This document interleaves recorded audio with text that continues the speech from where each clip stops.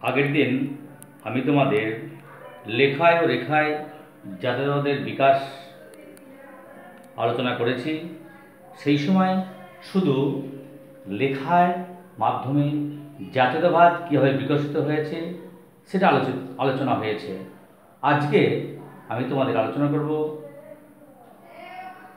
রেখার মাধ্যমে কীভাবে ভারতে জাতীয়তাবোধের বিকাশ ঘটেছে। ব্রিটিশ শাসনাধীন পরাধীন ভারতে চিত্রশিল্পীগণ চিত্রের মাধ্যমেও ভারতীয় জাতীয়তাবোধের জাগরণ ঘটিয়েছিলেন। এক্ষেত্রে বিখ্যাত চিত্রটি হল ভারত মাতা। এই চিত্রের শিল্পী অবনীন্দ্রনাথ ঠাকুর। এবার আসি এই চিত্রের প্রেক্ষাপটে। এই চিত্রের প্রেক্ষাপট ছিল বঙ্গভঙ্গ ও স্বদেশী আন্দোলন। ব্রিটিশ সরকারের রাজনৈতিক স্বার্থ চরিতার্থ করার জন্য বঙ্গভঙ্গ সিদ্ধান্ত কার্যকর করেন লর্ড কার্জন।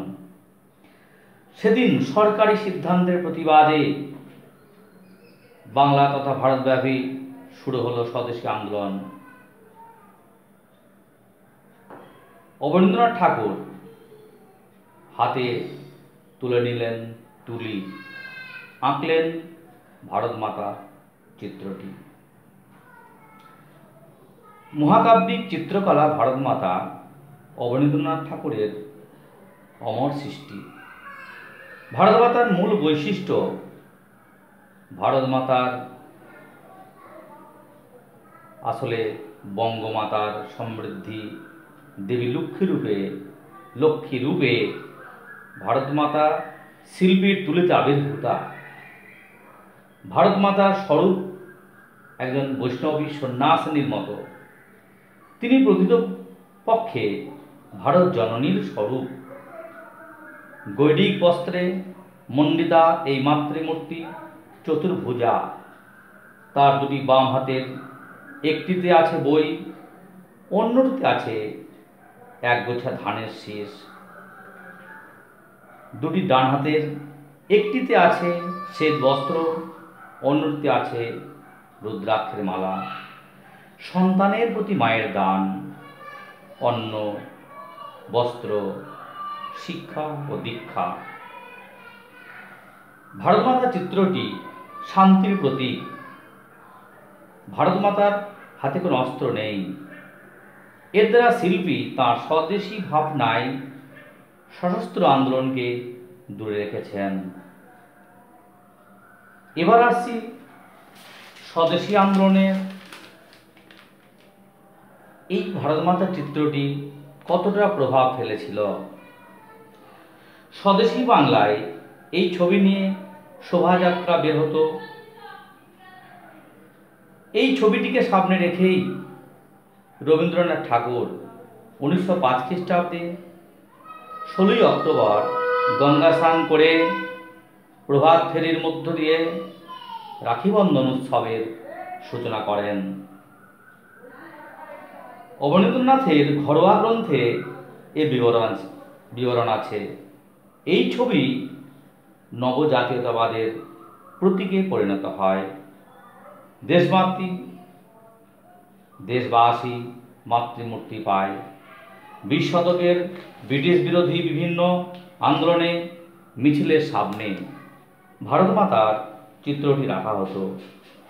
এই চিত্রের মাধ্যমে ভারত মাতা মানবিক সত্তাকে তুলে ধরার চেষ্টা করা হয়েছে। জয়ন্ত সেনগুপ্ত বলেছেন, এভাবে ভারত মাতা তার সন্তানদের মধ্য দিয়ে মুক্তি খুঁজে পেয়েছেন। চিত্রশিল্পের আইকন এই ভারত মাতা ভগিনী নিবেদিতা। ভারত মাতা চিত্রের একজন বড় পৃষ্ঠপোষক। তিনি মন্তব্য করেছেন, হাতে অর্থ থাকলে নবভারতের প্রতীক এই ছবিটি ছাপিয়ে কেদার বদ্রীর আশ্রম থেকে কন্যাকুমারিকা পর্যন্ত ভারতের প্রতিটি কৃষকের ঘরে একটা করে উপহার দিতেন। অবনীন্দ্রনাথ ঠাকুর নিজেই এই চিত্রকে বেঙ্গল স্কুল অব আর্টের মূল লোগো করেছিলেন। তাই তাকে আধুনিক ভারতীয় চিত্রকলার জনক বলা হয়। পরিশেষে বলা যায়, ভারত মাতার মধ্যে অনেকে হিন্দু স্বাদেশিকতার প্রভাব লক্ষ্য করেছেন। তবে অবনীন্দ্রনাথ ঠাকুরের মধ্যে হিন্দু স্বাদেশিকতার উগ্র ভাবটা কোনোদিনই দেখা যায়নি। শিল্পী ভারতমাতার যে চিত্রটি সৃষ্টি করেছেন তা প্রকৃতই ভারত মাতার মানবী রূপ। এর মধ্য দিয়ে ভারতের সমৃদ্ধ অর্থনীতি, আধ্যাত্মবাদ, ঐতিহ্য নারী শক্তির স্বরূপ ফুটে উঠেছে। বিশ্ববরেণ্য, বীর সন্ন্যাসী বিবেকানন্দ যে দেবীর আরাধনা করতে বলেছেন, মনে হয় এই ভারত মাতা যেন তাঁরই প্রতিরূপ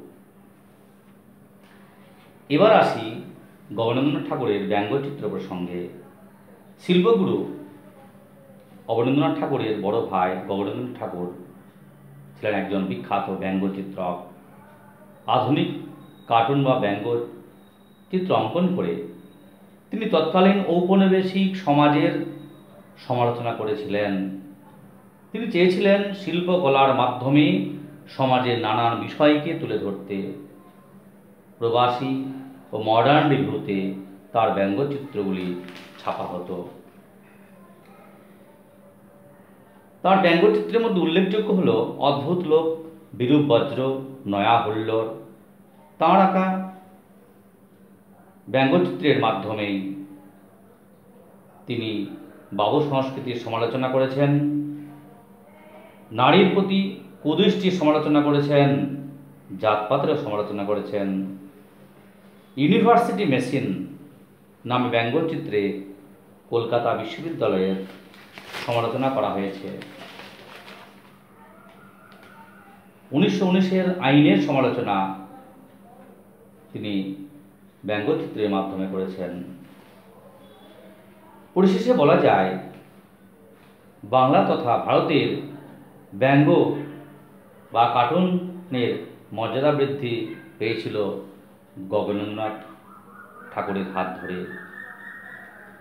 তাকে এই কারণে আধুনিক ভারতীয় জাতীয়তাবাদী তথা বাংলা ব্যঙ্গচিত্রের জনক বলা হয় গগনেন্দ্রনাথের ব্যঙ্গচিত্রে রাজনৈতিক সচেতনতা বেশি মাত্রায় ছিল বলে তাকে প্রথম স্বদেশী কার্টুনিস্ট বলা হয়। বিজ্ঞানী জগদীশচন্দ্র বসুর আবিষ্কার প্রফুল্লচন্দ্র রায়ের গবেষণা রবীন্দ্রনাথের প্রথম বিমান চড়া রাষ্ট্রগুরু সোমনাথের মন্ত্রিত্ব গ্রহণ, এমনকি আশুতোষকে নিয়ে তার কার্টুনগুলি ইতিহাসের অমূল্য দলিল।